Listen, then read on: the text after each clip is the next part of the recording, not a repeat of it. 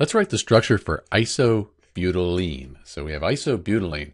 This is an older name. It's also called 2-methylpropene or 2-methylprop-1-ene. This is the preferred IUPAC name right here.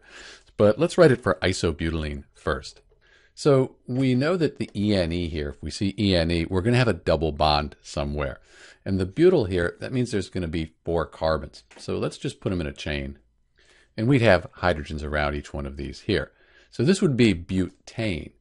The iso, that tells us that we're going to have one of the carbons branched off, usually on the second carbon. So actually this carbon here will be branched off up here.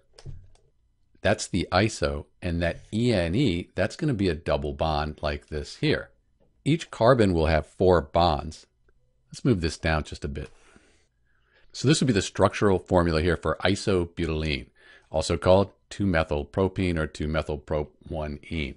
You could write this in a little of a condensed form like this here, where we don't write the hydrogens and we have a carbon here, here, here, and here. That's one way to do it. Or you could look at the 3D model for isobutylene. That looks like this here. And you can see this carbon here has the two hydrogens.